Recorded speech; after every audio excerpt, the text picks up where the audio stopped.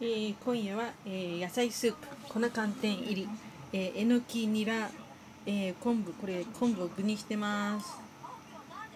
でナンプラーで味付け。でこちらがアジの干物。でこちらが万南光万南光と親子丼のレトルトなんですけど結構美味しいです。肉の塊がゴロンゴロンっていう感じです。でえー、とゴーヤチャンプルーです。